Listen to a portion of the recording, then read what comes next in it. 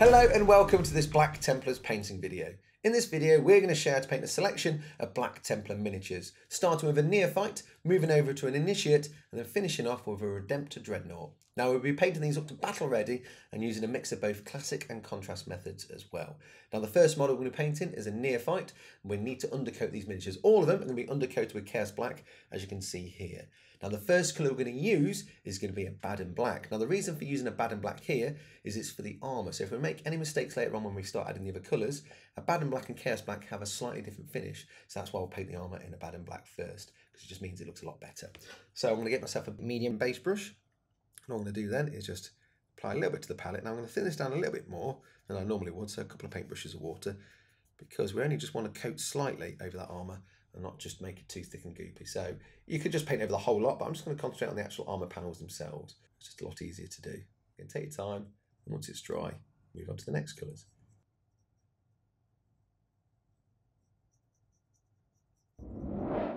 And there we are. Now that the Abaddon Black is dry, what we're now going to do is move on to applying some more base coat. So we're going to start first with Corax White, just to pick out those shoulder pads, which is iconic of the Black Templars. Then we're going to move on to Dryad Bark for the gloves and the boots.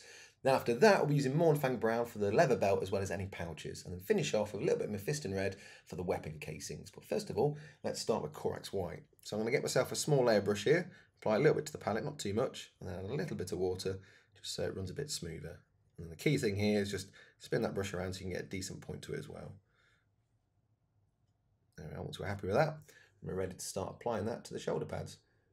Now you might want to do a couple of coats here, so once the first coat's applied and dry, just go over a second thin coat.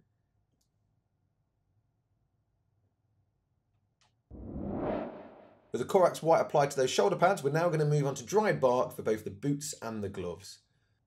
Again, just take your time, and if you do get any on the black, just tidy back up with Abaddon Black again.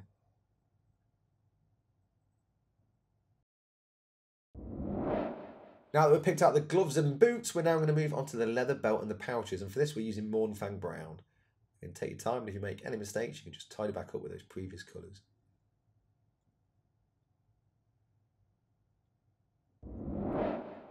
Now that we've picked out the belt and pouches, we're now going to move on to using Mephiston Red for the weapon casing. So this is both for the chainsword and the pistol as well. Again, take your time, and you might want to do a couple of coats to get a nice vibrant red.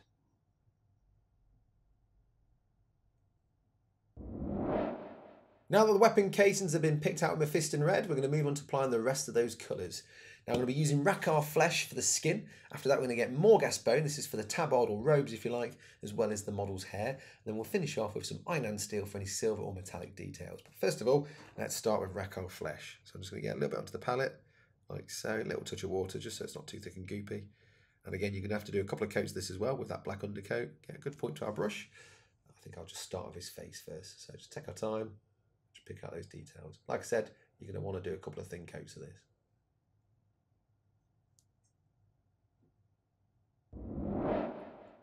With the skin picked out with Rakarth Flesh, we're now going to move on to Morghast Bone to pick out that tabard and also the hair of the model. Again, you're going to have to do a couple of thin coats on this one as well.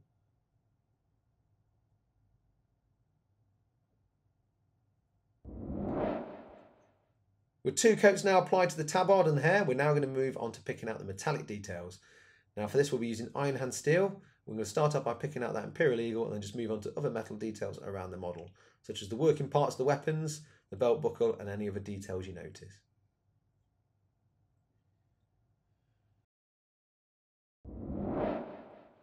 With all those silver details now picked out of Iron Hand Steel, what we're now going to do is move on to applying some shades and contrast. So we're going to start first with Agrax Earthshade. Which we're going to apply over the weapon casings.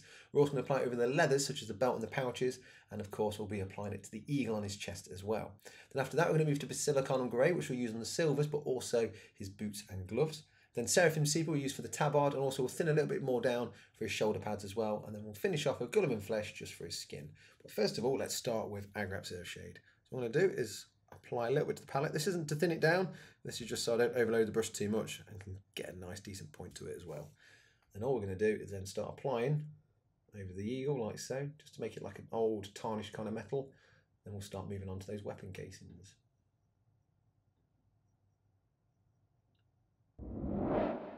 With the Agrax Earthshade now dry, we're just going to get some Basilicanum Grey and drop that all over the silver details, such as the working parts of the gun, his buckle and this little bit on his belt.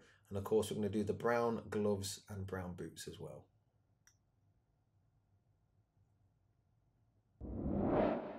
Now that we've applied Basilicanum Grey to all those working parts and silver details, we're now going to move on to Seraphim Sepia.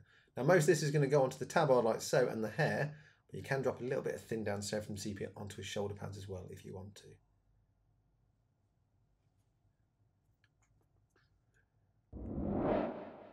Now that we've shaded the tabard and the hair, we're now going to move on to the skin. And for this, we're using Guilliman Flesh.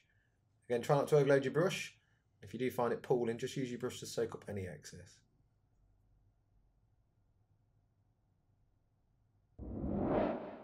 There we are, the skin now coated in Guilliman flesh, our neophyte is battle ready. So what we're now going to do is move on to our next model, which is the Initiate. Now I'm going to be coating over the undercoat of Chaos Black with Abaddon Black again. And again, this is just in case we need to do any tidy up at a later point. So what I'm going to do is get my medium base brush, just going to apply it to the palette as before, and a little bit of water. Actually, I get two paintbrushes of water, we don't want it too streaky. And once we load the brush up, we're then going to pull up our model and then just start painting that power armor, like so and it's just a little bit thinner so it won't leave any streak marks. Now you can either just coat over the whole model if you want to or just keep it to the power armor, it's entirely up to you.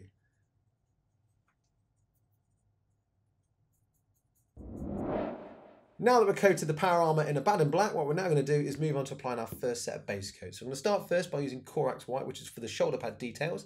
Then after that, we're going to move to Mournfang brown for the leather details, such as the belt and the pouches. And then we'll move to Mephiston red for his gun casing. But first of all, let's start with Corax white. So what I'm going to do is just apply a little bit of that as before onto the palette and a little touch of water as well.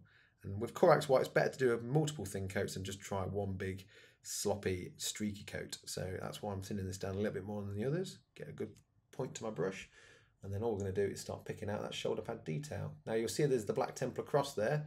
So you want to avoid that being white. But if you do find you actually get some white on it, don't worry. Just get that Abaddon black and then just tidy back up.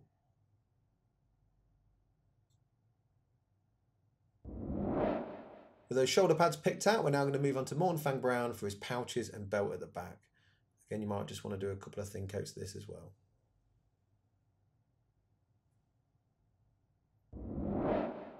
With the belt and pouches now done, we're going to move on to using Mephiston Red for the gun casing. Again, you might need to do a couple of thin coats of this as well.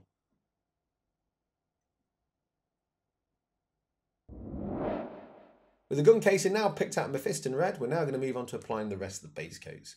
So for the skin, we're going to be using Catachan Flesh. Then after that, we're going to be using Morghast Bone. This is going to be for the tabard as well as the parchment of the purity seal. Then we're going to use Iron Hand Steel for any silver details and finish off with a little bit of Screamer Pink for the wax seal on that purity seal as well. But first of all, let's start with Catachan Flesh. So all I'm going to do, as I've said many times, just get a little bit on the palette, a little bit of water, and then get a brush to a nice point. As you can see, I always like to roll it around. That really helps get that point as well. So once we've done that, we're then ready to start picking out that skin. And again, you might need to do two coats, but one thin coat should just be enough.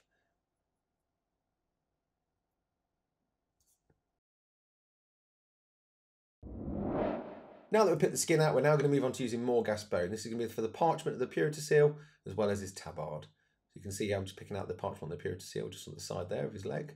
That will vary from model to model as well in the sets. And of course, we've got the tabard to do. And again, you probably want to do a couple of coats of this as well. Just take your time, work your way around. And if you do get any of this on any black details, just tidy back up with Abaddon black.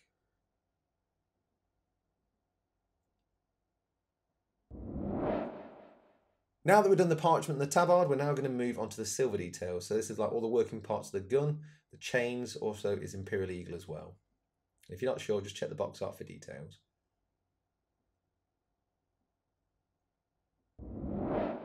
With all those silver details picked out, we're now going to finish off our base paints by using Screamer Pink for the wax seal. Again, you might need to do a second coat here as well.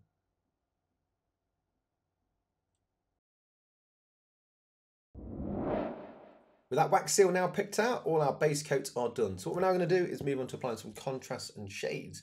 We're going to start first with Agrax Earthshade. We're going to use this on the weapon casings, the Imperial Eagle on his chest, and also the leather work, such as the belt and the pouches. After that, we're going to use Basilicanum Grey. We'll be using this on the wax seal, we'll be using it on all the silver details and also apply it to his skin. And then we'll finish off with Seraphim Sepia for that tabard and the parchment. But first of all, let's get some Agrax Earthshade. So again, I'm just going to apply it to the palette, not to thin it down or anything, just so I don't overload the brush too much and get a nice point to it. Once I've done that, and then ready to start picking out those details. Like I said, we've got the weapon casing to do. We've also got the leather around the back. And don't forget to do the Imperial Eagle on his chest as well. With the Agrax shade now dry, what we're now going to do is get Basilicanum Grey. Now we're going to apply this over all the silver details, except the chest eagle. We're going to apply it to the skin and also that wax seal on the Purity seal.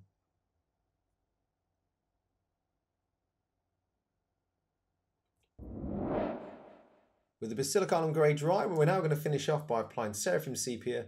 We're going to be applying this to the actual parchment of the Purity Seal, the tabard, so just a bit at the front, and also I'm just going to line around those shoulder pads to make them feel a little bit more aged as well. So where the black meets the white, so all I'm going to do is just align a little bit like so, it just gives it a bit of an aged feel.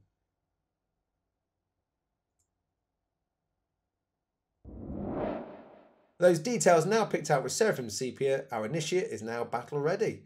So what we're now going to do is move on to our final model, which is the Redemptor Dreadnought. Now we're going to be using Iron Hand steel here. This is going to be for all the exoskeleton that's underneath the armour, as well as any working parts such as on the guns and the pistons. If you're not sure, check the box art for details. Now I'm going to get myself a medium base brush for this. I'm just going to apply some to the palette, like so, and a little bit of water, so it's not too thick and goopy. You'll have to do this multiple times as well, because there's a lot of silver to pick out. So all I'm going to do is just start on the actual under armour here and work our way around. Like I said, if you're not sure, check the box where all those silver details will be. And if you do get any on the actual armour panels themselves, don't worry, because we'll be tidying those back up at a later point anyway.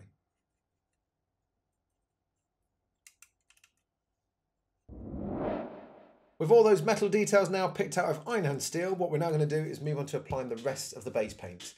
So we're going to start first by using some Abaddon Black. This is to tidy up those areas where I may have accidentally got some Iron Hand steel on the armour panels. Then after that, we're going to get some Corax White. That's for the shoulder pads, but also we'll use it to pick out the lamp and also the rockets on the missile pod as well.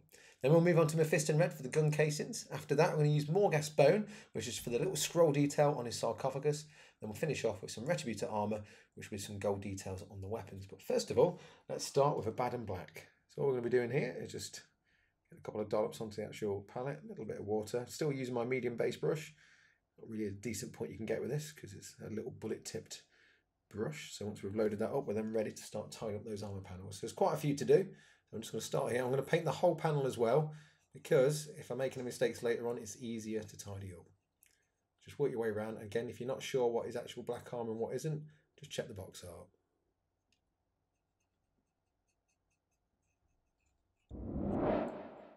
There we are. I've all the armor panels now picked out in Abaddon Black. What we're now going to do is get some Corax White.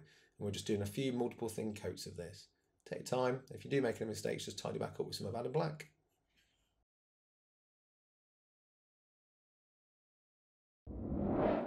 There we are with the shoulder pad now picked out. I've also picked out the lamp and also the missile pods. So what we're now going to do is get some Mephiston red and start picking out that weapon casing.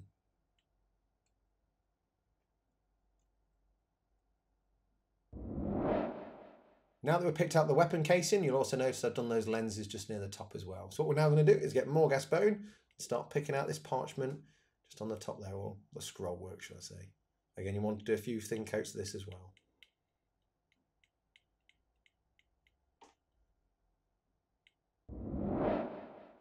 With the scroll work now picked out with Morghast Bone, we're now going to get some Retributor armor and start picking out some gold details. So you've got a couple of canisters on the big weapon here. You've also got this little sigil here to do, and of course the flamer down there to do as well. And just take your time and build up those thin layers.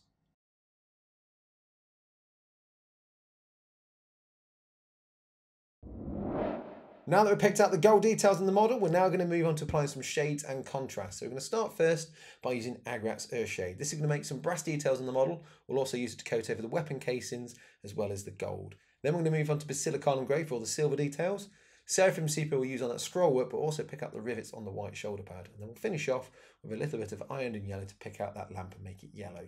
But first of all, let's start with the Agrax Shade. So what I'm going to do is get myself some Agrax Shade on like that on the palette I'm using a medium shade brush here, but I'm trying not to overload it too much, hence why I'm just pulling some off there like that on the palette. And all we're going to then do is then start applying that on the model. Now I was talking about brass details, so these silver eagles and the trim around the sarcophagus, if we just paint that over like so, that's going to make it look a little bit like a dark ancient brass. Just take your time when doing that. If you do find it starts to pull, just use that brush to soak up any excess. And of course we've got the red weapon casings and the gold as well to do. Just take your time and work your way around.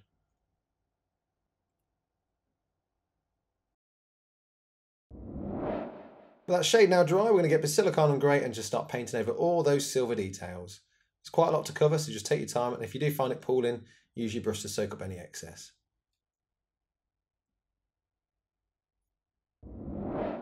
With all those silver details coated in Basilicanum Grey, we're now going to get Seraphim Sepia.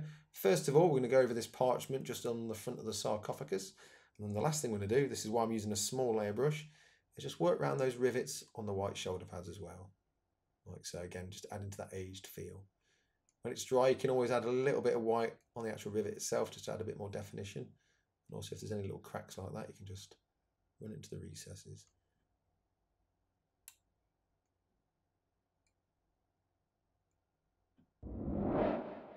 With the rivets and the parchment now picked out, we're just going to finish off by applying a little bit of Iyanden yellow to that lamp.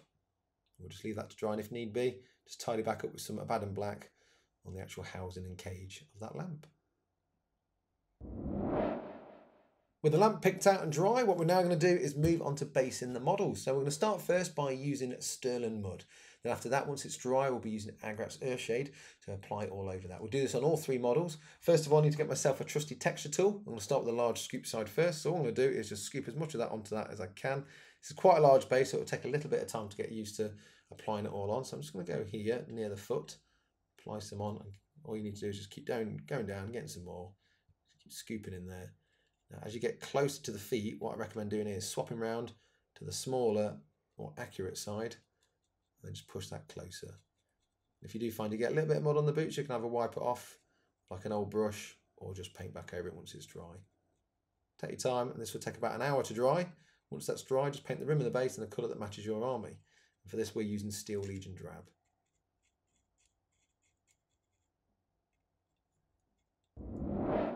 With the texture now dry, all we're going to now do is get Agrax Earthshade and apply that all over. Once that's dry, we're then going to paint the rim of the base with Steel Legion Drab.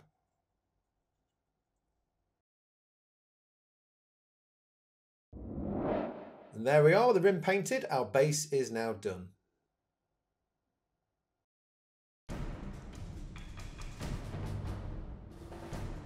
With the texture now dry and the rim of the base painted, our Black Templars are now battle ready.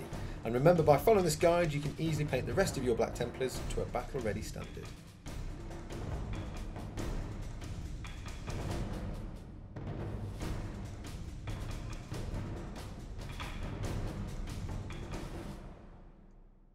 Now there's a couple of things to remember when painting these models. Firstly, when using base paints, try and be as neat as you can. Remember, the neater you are, the better the end result. And if you do make any mistakes, you can always tidy back up at a later point.